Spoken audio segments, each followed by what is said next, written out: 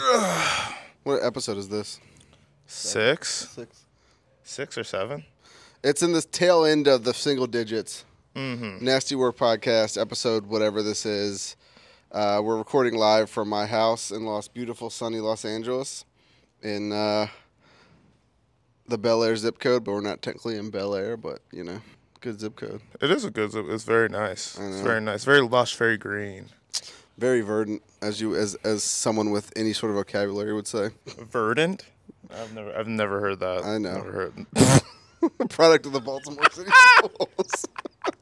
First of all, I went to school in the county. I lived in the city. yeah, but I he'd be went to school false claiming that he fucking is from the city. I've never false claimed that before in my life. My mom has lives in the city. You- I don't want to. I don't want to. I don't want to start this off by talking about Baltimore. We did that last Why? time. Talk right? about- rep we just we just bro. talked about it for like ad nauseum already. There's nothing to talk about. I'd rather much rather talk about Charlottesville. What about it? It's gorgeous. What's going on there? What's it like? What's the weather like? What are the It's people probably like? hot right now. People are cool. Yeah, It's fine.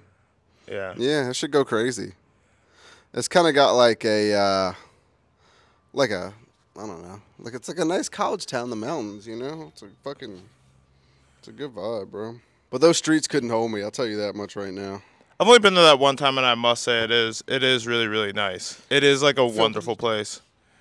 Phil, what are you doing, dude? Phil, freak bull.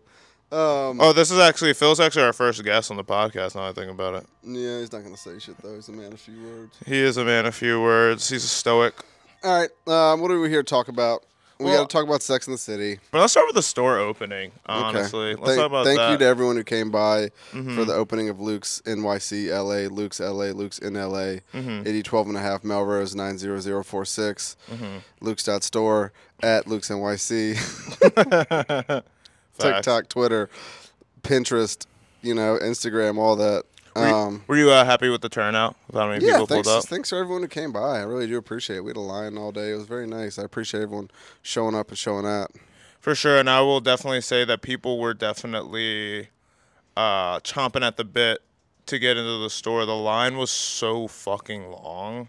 It was Oh nice. Oh my god! I, I almost like was for a little bit. I was considering. I mean, it moved very quickly, but if it were like staying or uh, the line was kind of stagnant for a while, I was really gonna have to go out. I felt like mm, get like people like water. I didn't want people to like pass out in line or something. If people aren't prepared to wait in a line, that's on them, bro. I'm not here to fucking babysit people in line. Like you know exactly what you're getting yourself into when you go wait in a fucking line outside, which is crazy enough. Thank you to everyone who did that for me. Obviously that makes sense, but any other application, waiting in a line is fucking crazy. I mean, with that with that place, it is kind of like a very finite amount of stuff. Like, there's gonna be one or a couple of things in there that are actually your size. So if you want something, you might actually have to stand in line. But standing in line for like something like an iPhone, where there's just Dude. mass produced, is fucking crazy. We were just at the fucking mall and there were a bunch of fucking nerds lining up at the Swatch store.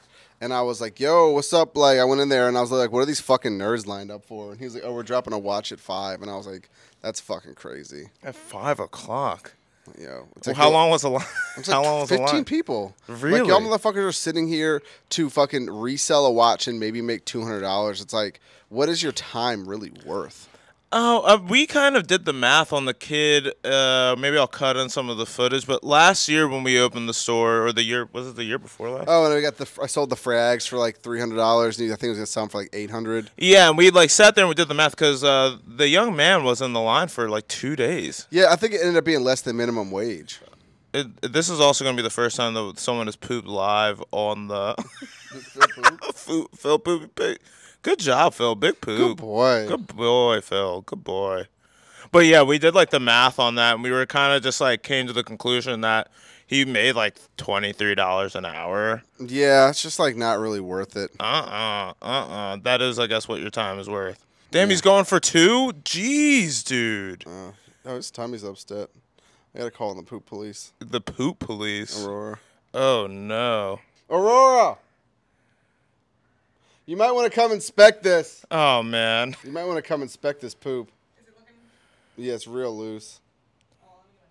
It's not looking. It's not looking All right, good. we got anyway. we got the poop police on the scene. Um, yeah, I mean, shout out everyone who waits in line. I just, Mm-hmm. I, for me personally, I'm not waiting in line for shit. If I pull up to something and there's a line and I know I can't jump it, I'm, I'm leaving. What are like some of like the favorite like your favorite pieces that we like had in store and shit that that went? I mean, a lot of like the really good shit went like in the first like 25 minutes, but I don't know. Everything's so good, you know. personally, me, I really like that activist tee. That shit was so Oh yeah, hard. activist tea was funny. Yeah, that shit was Um, sweet. I've had a few activist things recently. I don't really remember. I mean, like all the ERD stuff went, which is cool. We just dropped everything online. It's out there in the middle. It's soft. Yeah, I think he did double he, drop. He did double drop. Tread carefully. When did he eat the cheesecake? I dropped a single molecule of fucking cheesecake on the floor. That was that was 20 minutes ago. Jesus fucking Christ. Yeah, there were a lot of really good things. I've been saving stuff for a while, but also again, like I think like I said in that complex interview, it's just like, you know, we we filled the store 90% with backstock, and it's still the best selection that you're ever gonna find anywhere, which is kind of crazy. Like, shut up, shut up, them. I mean, that is that is true. We do have a lot of really fucking good shit. Luke's dot store. If anybody hasn't fucking peeped. Okay, so let's let's stop plugging the store for a minute and actually talk. I mean. yeah, This is not going to get us motion on Spotify. I'll tell you that. I mean, really, what's going to get us emotion is the next topic, which is the worst show I've ever fucking Oh seen my in my god, life. dude! God, dude, the worst show I've ever seen in my life. Fucking Sex in the City. Is it in the city or in the city? I think it's in the city. Sex in the city. Six and the city. What does it fucking matter? It's thought- stupid. Yeah, dude. I mean these these fuck. How do I like say how I feel without fucking getting canceled for being a alienating misogynist?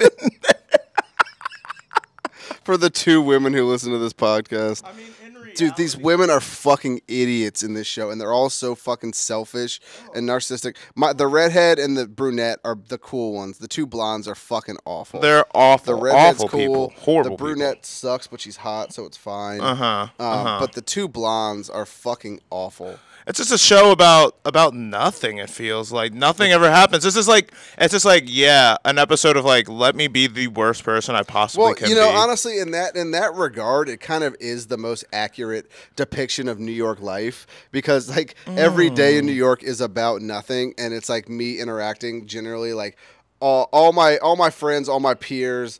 Everyone I interact with and everyone they interact with and continuing out into that web are just all the most awful people in the world, myself included, you know? True. However, however, people in New York are just like kind of more like they're just real as fuck. More so than the show portrays them to be.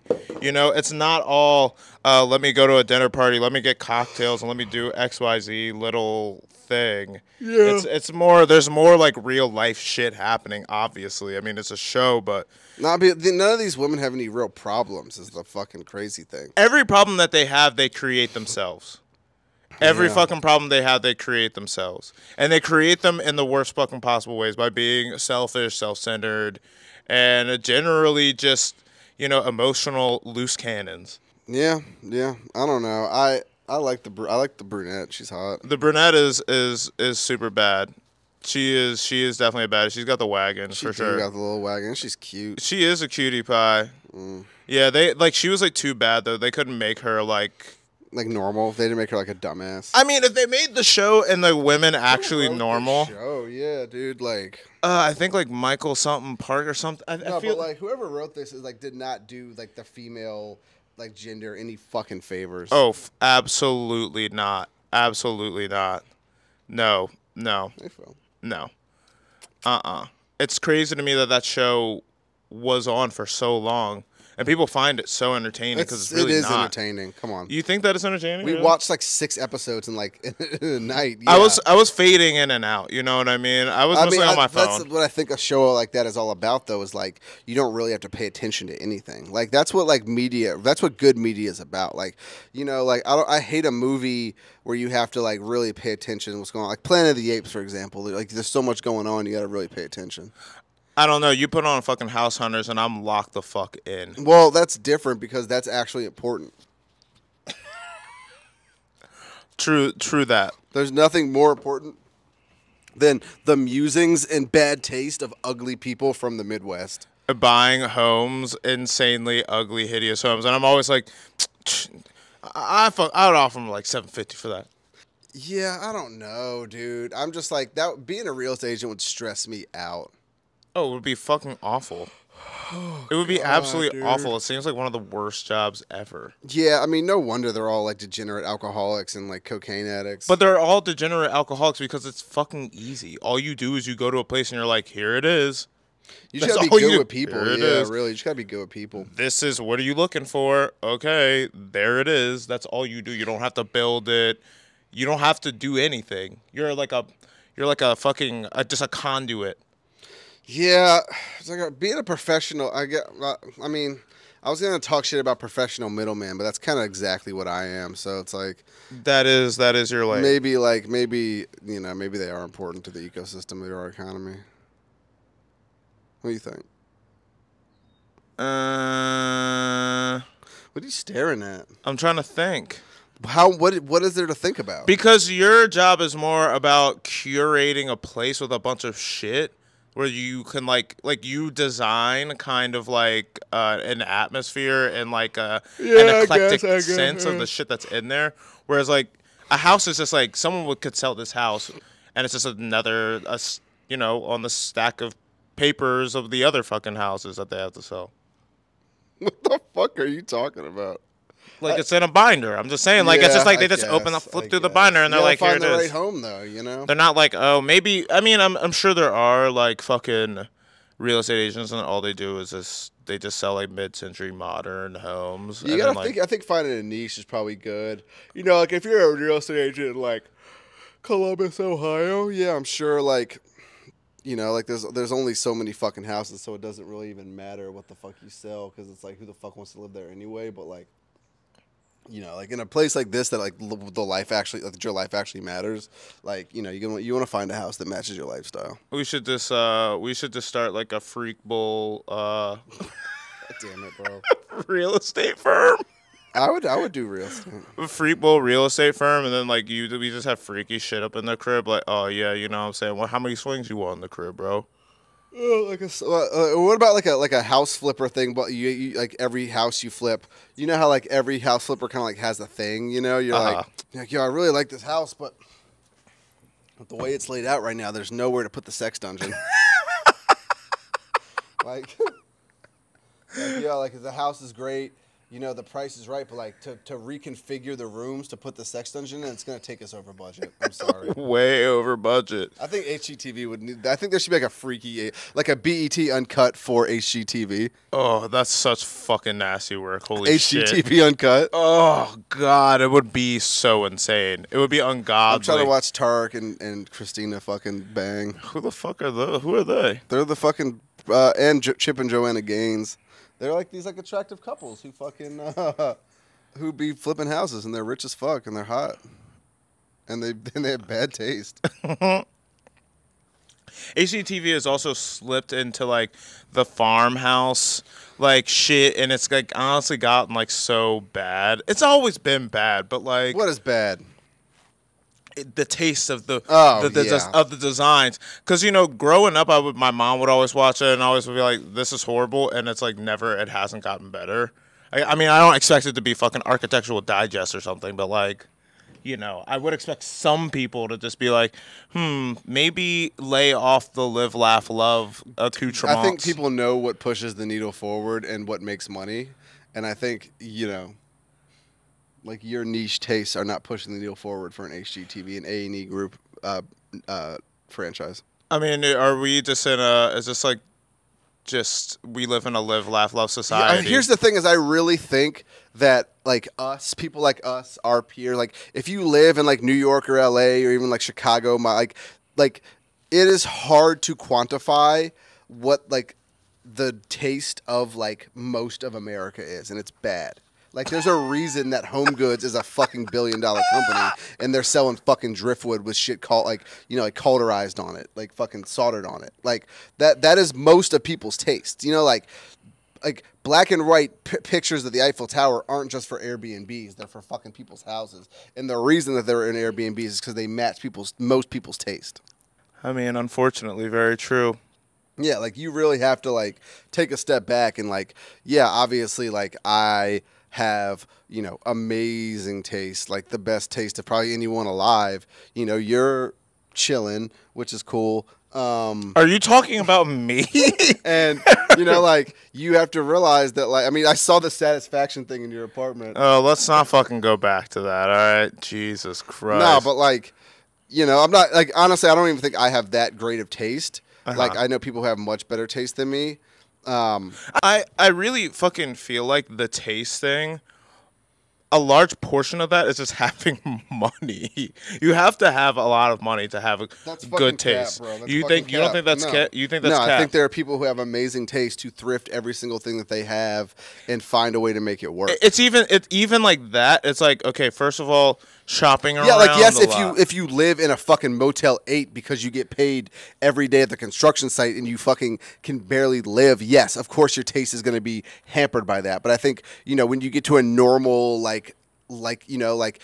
A, like you, you have a, a house, a roof over your head. Like you're able to fucking have good taste if you have good taste. I mean, also, yeah, there's lev- there are levels to that shit. Like I don't think mean, anyone living in the Bowery Mission is worried about their fucking taste level. Of course not, dude. Of course not. But if you do live in Ohio and you have a stable job, I'm just saying. What? How likely is it that you're gonna blow a thousand dollars on a mid-century modern sofa? It's No, but it's happen. low. But you might be able to find one on Facebook Marketplace if you really care that much about it for like seventy five bucks because some old lady who bought it, you know, like because her husband was Dutch, like, and like no one in in your town knows what it is. Like, there are people who, with good taste. Money doesn't necessarily like, and also like, there are plenty of people who like have good taste but can't afford this shit. But it doesn't mean that they have worse taste. You know what I'm saying? Like, Yeah. like like there are people who know way more about cool shit than either of us and just can't afford cool shit. And there's also cool shit that me and you know about that we fucking can't afford, you know? yeah, that's true. Like it's not like Jeff Bezos has like the world's best taste cuz he's got the most money. Like he still dresses like fucking, you know, like a cartel member. Maybe it's just more like being able to exercise the taste that you have. You know what I'm saying? Yeah, I feel you, but I really think that's like also kind of like I think you're giving rich people too much credit. And I you won't hear me say that very often. I mean, all right, fair. That's fair. That's fair. Yeah. I mean, yeah, Yeah. you know, I just be thinking like, oh man, it would be nice to have like a Vladimir Kagan couch or something. Well, get your fucking bands up, bro. I really need to fucking get them up because really, really, like the sign of like really having bread is when you walk into someone's crib and you're like, "What the fuck kind of couch is this? This is like an insane couch," and then you realize that like couches are like typically like the most expensive thing that you have in your home. You think so? I mean, compared to like, uh, you know, taking out like your cars and like maybe like very expensive pieces of art. Yeah, typically. Um Couches are really expensive. Like night, especially really nice couches. Like fifty thousand, you can definitely easily spend fifty thousand dollars on like an insane couch. I think the most expensive thing in my home is my indomitable spirit. That's knew you were priceless, though. You can't gonna- put a price on that. Yeah, I knew you were gonna say some fucking bullshit. Like that. what do you mean? I knew you were gonna say some bullshit like that. Sorry, bro. Sorry that you know I don't I don't care that much about um, material possessions. I'm I'm more here for the spiritual. is that so? Yeah. Is that so? Yeah. Have you really been focused? See, and we were talking about this in the last podcast. We knew that your spiritual arc was coming, and I'm happy that you're finally coming back around to it. Me and your mother were correct. What's going on with that? How where are you spiritually these days? Who are you praying to? How often are you praying? Praying all, all day, every day, baby. What are you praying for? I want everyone to do well. Wow. That's that I I'm- indomitable I'm thinking spirit. about, and maybe I'm giving up too much free game, but I really think I was talking to you about this. I also think that there's room. There's this is something that kind of really hasn't been explored, like a two man preacher situation, black and white. You know, like covering all bases. Think about it. I did think about it when you said it. And you got any thoughts? Nah, you need to tap somebody else. We, I think we have Oh, a lot- word? I think we have a, no- a lot of other friends that would be much better at it than me. Honestly, Like who? um, I don't want to say any names because I don't want to have to fucking bleep it out. I think you'd be good at it, man. I think I think once I think once you find the Lord, you'll you'll be able to do it. You're just living a very sinful lifestyle right now. Am I Yeah.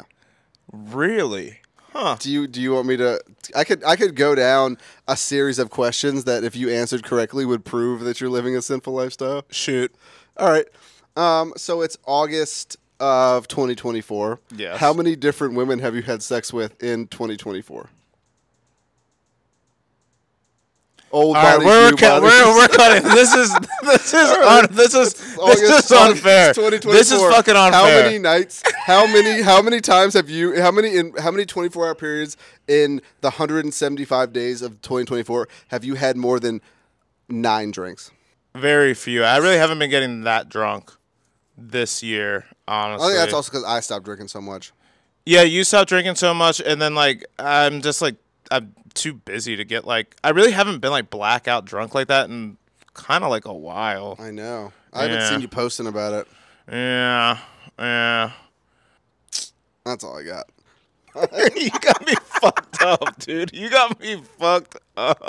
Holy shit, that's fucking cr- that's that's crazy. Oh, that's gonna be on me, big. dog. Yeah, that's that's. I'm just nuts. so, sorry. I'm getting. I'm getting. Titillating for the for the podcast. You're fucking over here going full send, throwing me under the bus, dude. You threw me under the bus, vertical, right underneath, so my dick, balls, head, spine all got crushed. well, sorry, that's on me. Eh, the it's all Lord, the Lord told me to do it. I mean, you know, I think I think it's known that I'm kind of slutty, so yeah, I Are know. you? I mean, I mean, it's fine. I don't Slut? care. Okay. Um, if you were to be a preacher, what, um, what's the word? Like, what what type of Christian would you be? What is it? Uh, what what sect? I mean, I probably There's a word for it. What I, it? I probably would uh, follow the same. Uh, Your mom's a preacher, right? Yes. Yeah, my grandparents. My both both my grandparents are preachers too. Holy um, probably Methodist. Methodist. Yeah. Uh, okay. I'm not like I don't feel like I'm a Baptist guy really. That's not really my bag. What about Catholic? Definitely not my bag. There are black Catholics in Louisiana. Yeah, but like you're a pastor and you can't like have a wife like Oh, really? that's like They're still not on my that thing. shit? Yes, dude, that's like their whole thing. Nah, I think they switched it up. No, or is that did why they were fucking kids? Yeah, that's probably is why. Mm, yeah. I don't think that's the reason why, but you I mean, can you can you can take a guess it probably didn't contribute to a lack of it. Oh my god.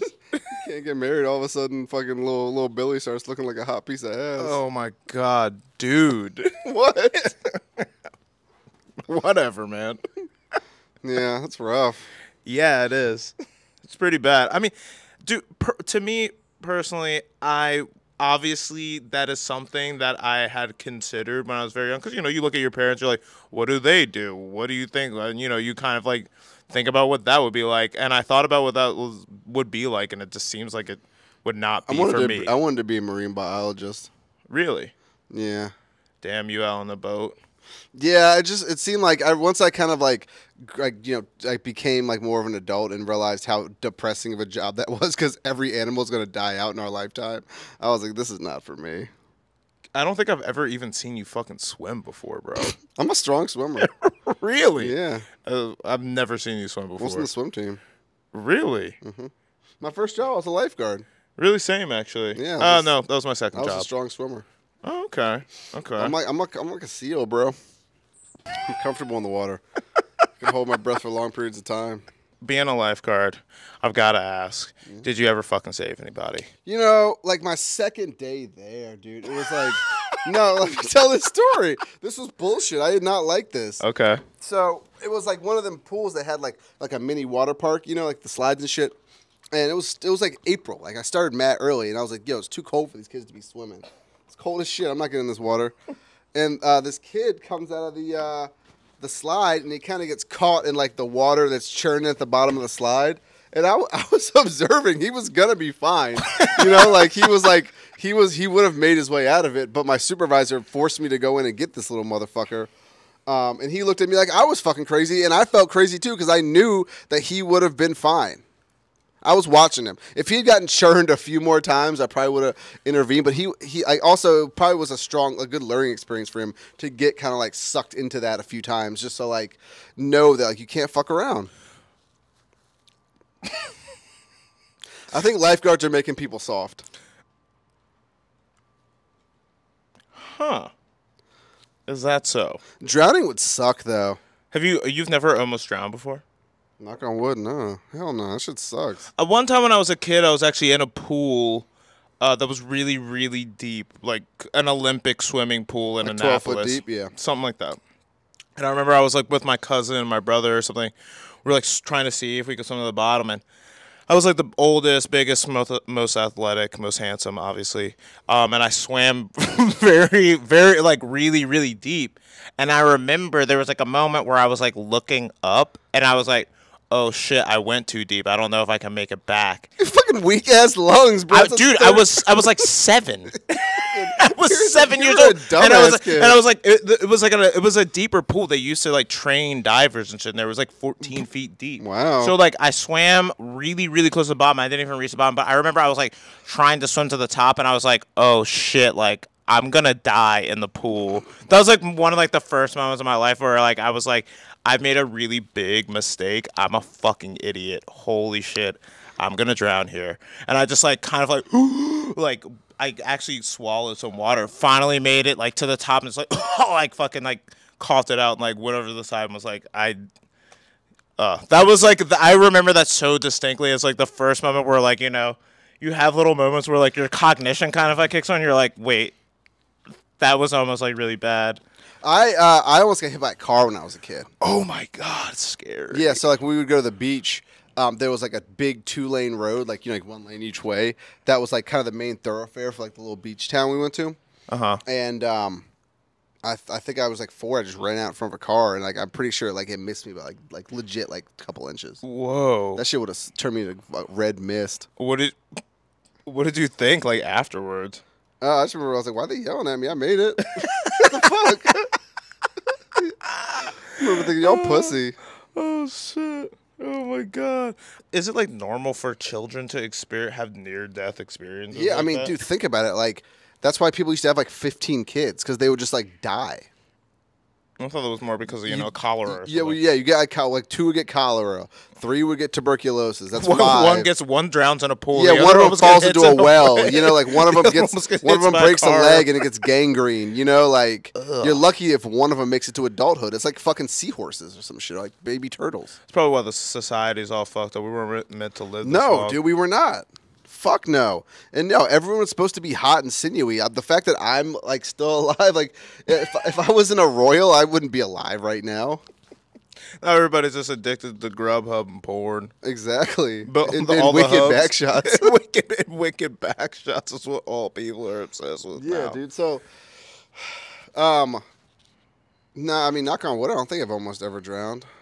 That shit would suck. That'd be such a like a bullshit way to die. I'm telling you, it was a horrible experience. It was a horrible, horrible experience. I got a. I I'm be- surprised that you could swim. I mean, I my my grandparents after that. I mean, like they didn't. I never told my family about that. You guys are probably. This is probably like the first time I've ever actually talked about it. Really. Yeah, well, you don't want it's you know it's like embarrassing to tell your family that you're a dumbass. Well, I mean, I was like eight or seven or something. My grandparents got us swimming lessons like shortly. Yeah, I, I, I started pool. swimming when I was like fucking, you know, like two years old. Like I, I was like swimming in the ocean and in a pool from like a very, very, very young age. I'm like very comfortable in water. Uh, okay.